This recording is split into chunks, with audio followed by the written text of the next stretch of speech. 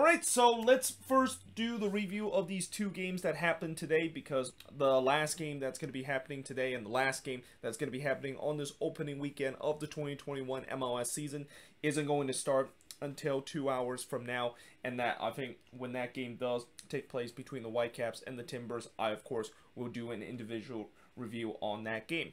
But for both of these games, just like yesterday where both of these games were high high profile games, uh, we saw one of them that ended in a scoreless draw, and the game was kind of tight between both of these teams. And then we saw a, a game where it was a high score scoring game. And while this one, you know, it turns out to be a very entertaining game at the end, it didn't really kind of started that way with the early part of this game kind of slow and both teams kind of still shaking off that rust that they had in the off season. But once this game got going, boy oh boy, that's when the pace and and the excitement really got, especially what we saw in the second half. So uh, there was six Galaxy player that was making the, their Galaxy debut in this game, while there was three Miami players that was making their Inter Miami debut in this one. So there was a lot of debut between both of these teams. Uh, 42 seconds into this game, we actually had a yellow card that was on the Angel Gonzalez Pirez, and that probably is one of the fastest yellow card we have seen in an MLS game. And obviously, LGP was not happy about that. He complained to the ref saying that that was his first challenge. I mean, he should get a benefit of the doubt that it was his first challenge. And, you know, in some way, I kind of do agree with him because, you know, referee usually they're being a little bit lenient in terms of the fact that if you commit your first challenge and as long as it's not egregious that it's worth a yellow card maybe maybe the referee will, will give you a free pass but that was not the case with this referee immediately gives a yellow card to LGP there. Uh, the atmosphere was absolutely amazing in this game. Now, I know there's going to be a lot of people that's when they see this,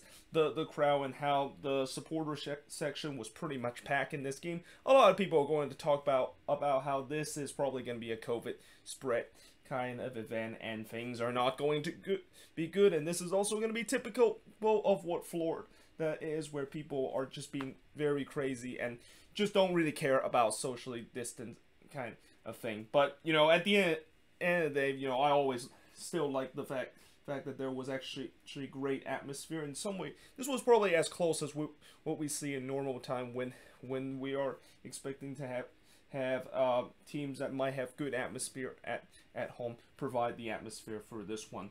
Uh, as I said, this was a slow start for bo both of this team. Uh, they actually showed Tom Brady was attending this game, and, you know, I'm kind of surprised that Brady didn't actually attend a Quakes game before he actually attend an Inter Miami game, because, after all, Brady is from the Bay Area, and I'm thinking that, you know, he probably should have been a Quakes fan instead of maybe supporting for Inter Miami, unless maybe he, he's secretly a Quakes fan and he's rooting for Inter Miami so that, that, that that he, he can see this team beat the Quakes' most hated rival, that is the LA Galaxy.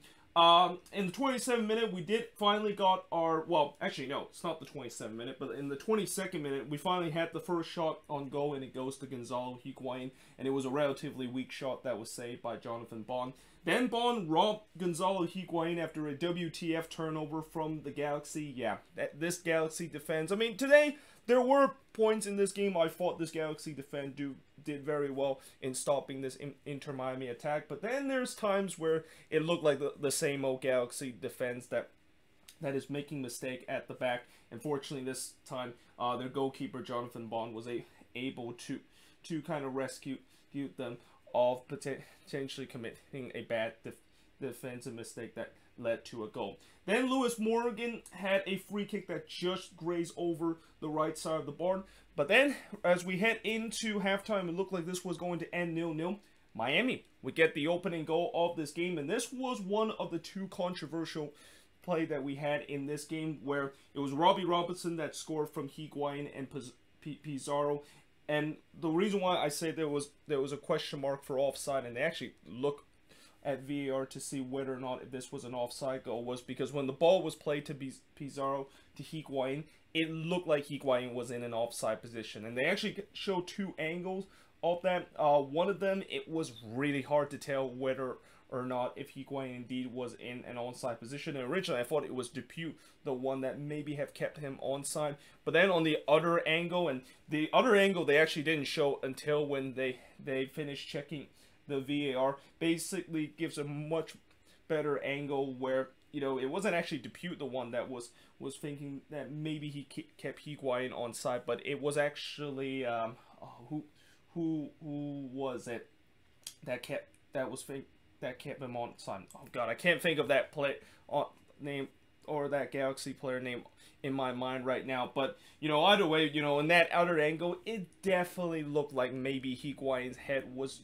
was swaying a little bit toward the right and in and offside side position. And there's no doubt that if this happened in the Premier League, there's no doubt they're going to get the rulers, they're going to get the lines out, and I have feeling that's probably going to be a rule offside. But I guess maybe because MLS doesn't have that, and maybe they think that it's it's not definitive uh, that's why it was not called offside. Like when I originally look at it, and I have looked at it a couple times, I really think Higuain, you know, with his motion, with his head, and also oh, his his right arm, it seems like that was in an offside position.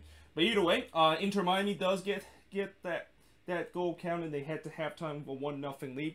Then in the second half, they look to double that lead, but Jonathan Bond was able to deny Robinson of his second goal, and Inter Miami really start out strong, strong in the second half. And I also wrote later, while the Galaxy continued to struggle to get anything going forward, and right as when I, I wrote that down, just 10 seconds later, Chicharito scores from Zubak to tie the game up for the Galaxy. That's would be first of two goals that Chicharito would score in this game, and he actually matched the the same amount of goals that he scored all season long uh, in today's goal goal total. And also that was a beautiful ball that was delivered from from Ethan Zubak, who I thought the Zubak substitution really changed this game. He would he seems to to to be much more dynamic going going up front uh, compared to when they didn't have him on the pitch, and he feeds a good ball to Chicharito to slot that one in the near post. But the Galaxy equalizer didn't last long because Inter Miami would actually win a penalty just four minutes later,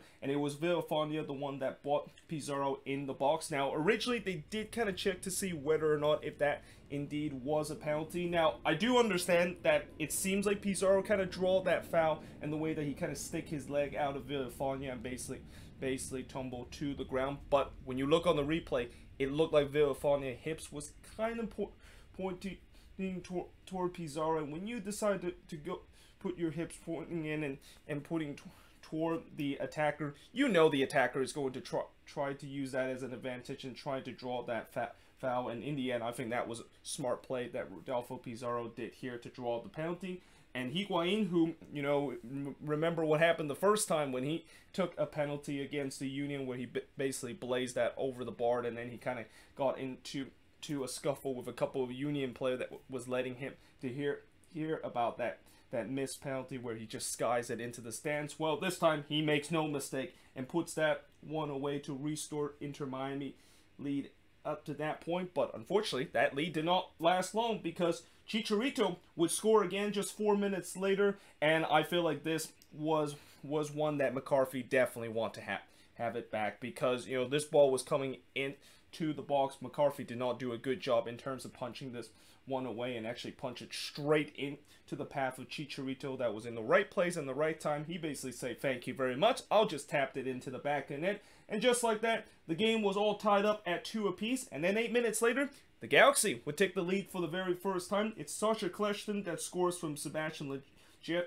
What a beautiful strike that was from Kljestan to ba basically not only freeze the goalkeeper with that shot, but basically just clip this one on the left side of the post to get it into the back and net. And just like that, the Galaxy were up 3-2 in this game, in a game where Inter Miami, you know, for majority of this game, they really do dominated. But, you know, it seems like the Galaxy, when they had the chances to to put the ball into the back net, they were able to do so. Though they, though Inter Miami was looking to make this make this game free free when when two minutes later, uh, Jonathan Bond was was able to once again deny Gonzalo Higuain. And then his brother that came on just just a couple of minutes ago, Federico Higuain smashed one that just went went wide from about 14 yards out.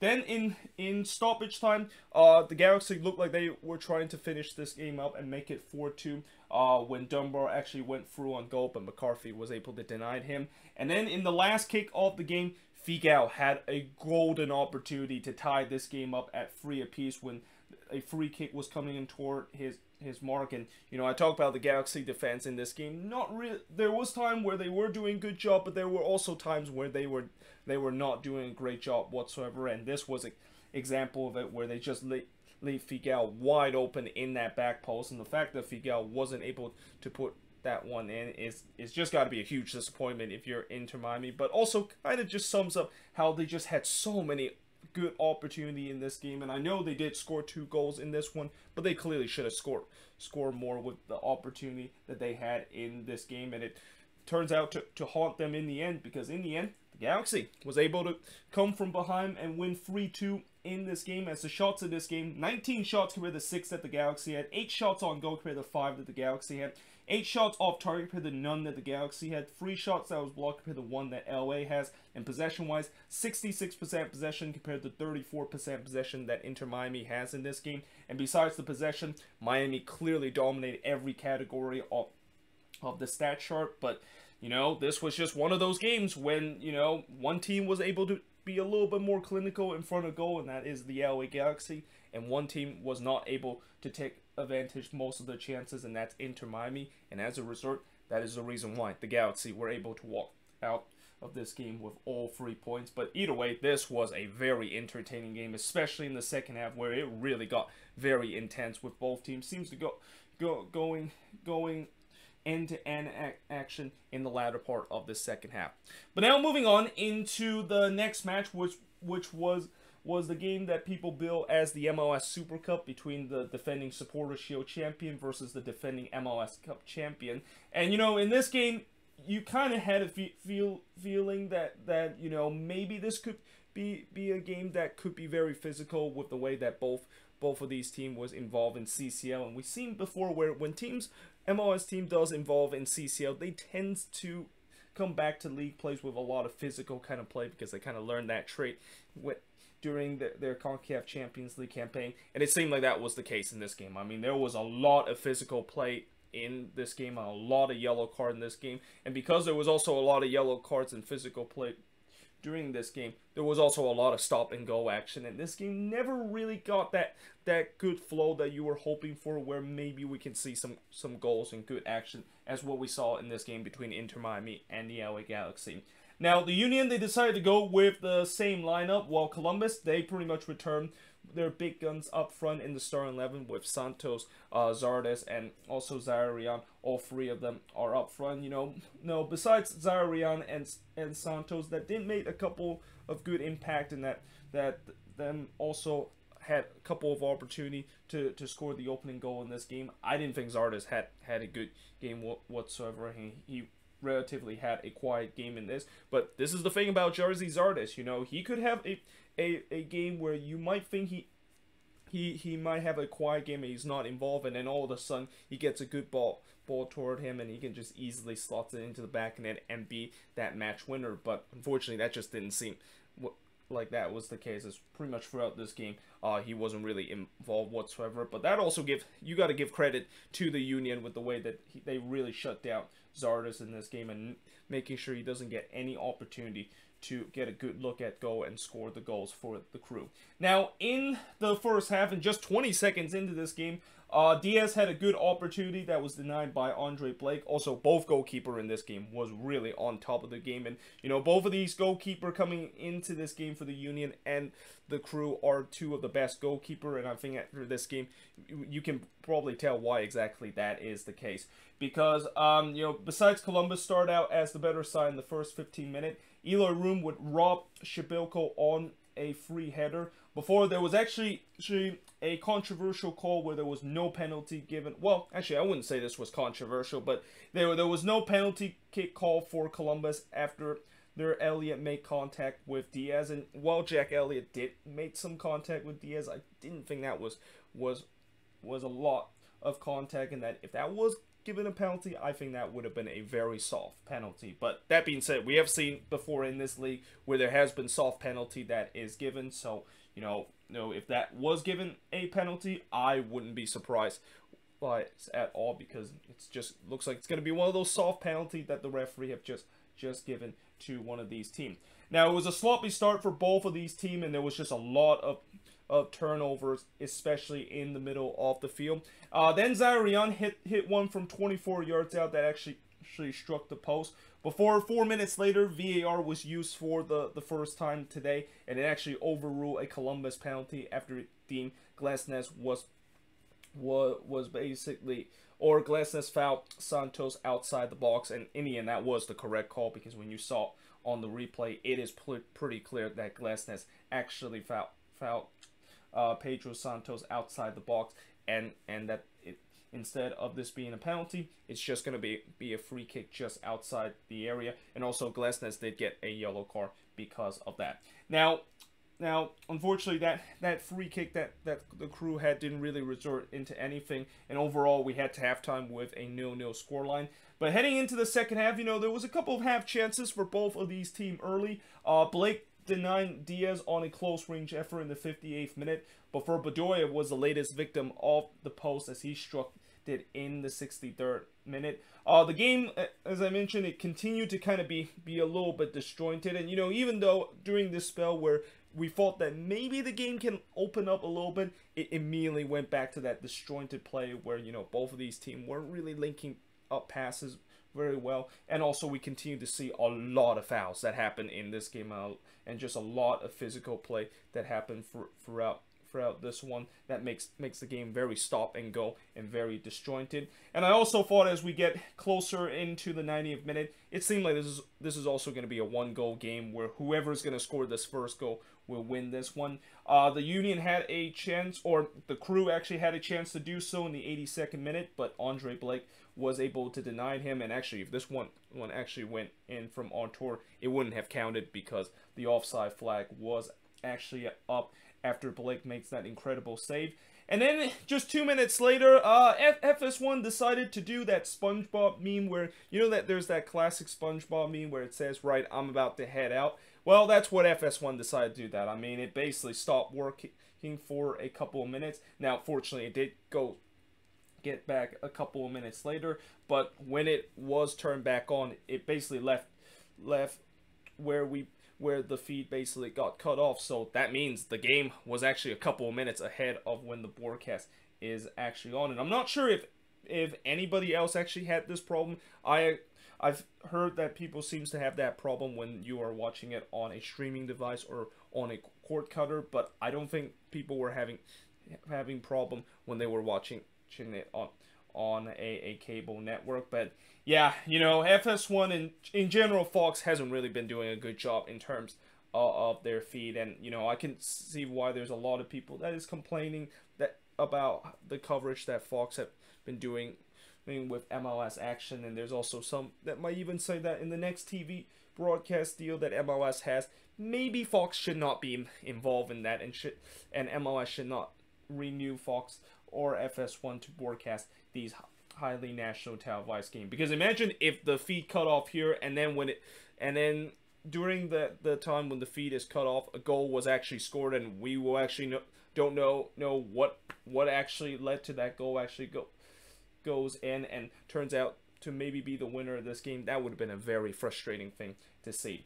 Now, three minutes later, after the FS1 feed decided to, to take a break, uh, Eloy Room was able to deny Bedoya from long range before Room actually denied San- Santos in stoppage time, and Philly was really pr- pressing to try to get the winner. You know, I was thinking maybe Columbus was going to do that because knowing the fact that the Union is a road team, and when you're a road team, when you get to this point where the game is kind of very even and and you know it's just it feels like like like one goal is enough to win the game for both of these teams. I've seen a lot of time where road team tends to sit back a little bit and, and are just happy with a point. And especially in a big big kind of marquee matchup like this, uh, the road team always want, wants to just sit back and try, trying to take take a point away on the road against a very very good team and especially a, a team like Columbus that doesn't lose at home home very often, but instead they actually go for, for it and we're looking to grab all three points, but unfortunately it, they they weren't able to do so. And in the end, it was a goalless draw between the Columbus Crew and the Philadelphia Unions. As the shots in this game, 12 shots compared to 15 that Philly has, 6 shots on goal compared to 5 that the Union has, 5 shots off target compared to 8 that the Union has, 1 shot that was blocked compared to 2 that the Union has, and possession-wise, 48% possession compared to 52% possession that Philly has in this game. And overall, when you look at the balance of how this game played, yeah, it, a goalless draw I think is a fair resort for for both both of these team and you know both of these team will now have to move move on into the next game and hope hope then that you know they can get their attack going again he heading into the next one because it seemed like the defense for both of these teams were the story of this game and also the goalkeeper of both of these teams were very solid and that is probably one one of the reason besides the fact that this game was very physical and very disjointed that this game basically ended in a goalless draw. But yeah, there you have it. That is pretty much it in terms of the review of both of these games. Like I said, since the next game is not going to start until about an hour and a half from now. That's why I decided to review these two games and then review the the Timbers versus Whitecaps game a little bit later tonight as just a single game. But until then, hope you guys enjoy this video. If you do, make sure you guys leave a like, smash the subscribe button. Let me know in the comments below what do you think of both of these games. And yeah, I hope to see you guys next time.